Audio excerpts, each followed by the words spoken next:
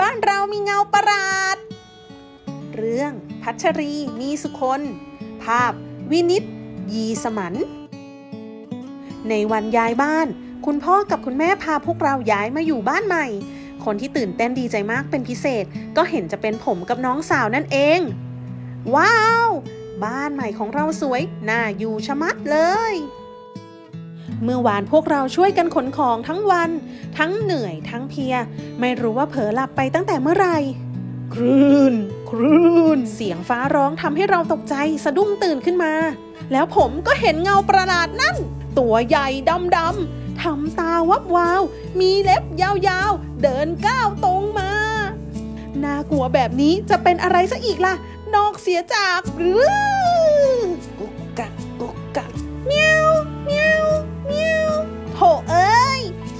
ก็เป็นพี่ชายของผมนั่นเอง พี่ชายของผมน่ะ รักเจ้าเหมียวมาก พี่บอกว่ามันจับหนูเก่ง แต่ผมชอบเจ้าด่างมากกว่านะ เพราะเจ้าด่างแสนรู้แล้วก็เฝ้าบ้านเก่งกว่าอีก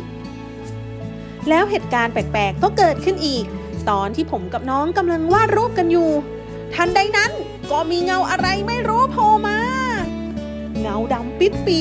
มีปากกว้างกว้างๆมันแยกเขี้ยวกลางกำลังเดินมาากลัวอะไรแบบนี้จะเป็นอะไรซะอีกล่ะ นอกเสียจากหรือกอกแกกกอกแกกโถเอ้ย ที่แท้ก็เป็นคุณพ่อนะเอง คุณพ่อของผมน่ะ ชอบต้นไม้มาก บ้านเราร่มรื่นแล้วก็สดชื่น เพราะคุณพ่อปลูกต้นไม้ คุณพ่อของผมน่ะชอบต้นไม้มาก บ้านเราร่มรื่น แล้วก็สดชื่น เพราะคุณพ่อปลูกต้นไม้เต็มไปหมดเลย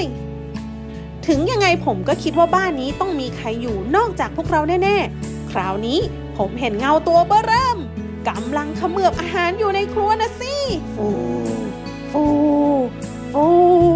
เจ้าตัวดำมืด ยืดคออ้าปาก เขี้ยวแหลมคมมาก อ้าปากน่ากลัว น่ากลัวแบบนี้จะเป็นอะไรซะอีกล่ะ นอกเสียจากหรือโธ่เอ้ ที่แท้ก็เป็นคุณแม่นะเอง คุณแม่ของผมทำอาหารเก่งมากๆ อาหารฝีมือคุณแม่อร่อยที่หนึ่งเลย คุณแม่กำลังเรียกผมไปกินข้าวแล้วล่ะ ผมพยายามบอกตัวเองเหมือนกันว่า ไม่มีอะไรหรอกนะ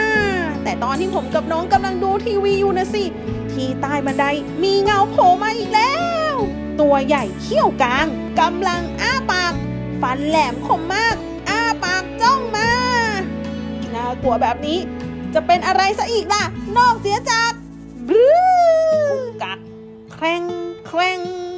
โธ่เอ้ย ที่แท้ก็เป็นพี่สาวของผมนั่นเอง พี่สาวของผมน่ารักใจดี แล้วก็ได้ชื่อว่าเป็นจอมประหยัดที่สุดในบ้าน เพราะเก็บสตางค์เก่งจนมีกระปุกออมสินใหญ่กว่าของทุกคนเลย ตอนที่ผมจะเข้านอน คราวนี้เจอเหตุการณ์น่ากลัวสุดๆเลย ผมเห็นเงาประหลาดกำลังบุกเข้ามาในห้องนอนของเรา โอ้ยใครก็ได้ช่วยทีกอกแกกกอกแกก เจ้าตัวดำปือ มีมือกรันไกล ตาวาวสูงใหญ่ เดินใกล้เข้ามาน่ากลัวแบบนี้จะเป็นอะไรซะอีกล่ะ นอกเสียจากหรือโธ่เอ้ย ที่แท้ก็เป็นคุณแม่นะเอง คุณแม่เอาผ้าห่มผืนโตมาให้ แล้วยังมีนิทานเล่มโปรดมาเล่าให้ผมกับน้องฟังต่างหากล่ะ คืนนี้ช่างมีความสุขจริง ๆ ตอนนี้ผมรู้แล้วว่า เงาประหลาดที่ผมเห็นจริง ๆ แล้ว เป็นเพราะผมกลัวแล้วคิดไปเอง ช่างเป็นความคิดที่ไม่เข้าท่าเอาซะเลยนะ ต่อไปนี้เวลาที่ผมเห็นเงาประหลาด ผมจะตั้งสติแล้วดูให้ดีเสียก่อน เพราะความจริงแล้วสิ่งที่ผมตกใจ ก็ไม่เห็นน่ากลัวอย่างที่คิดเลย ผมไม่กลัวแล้วครับ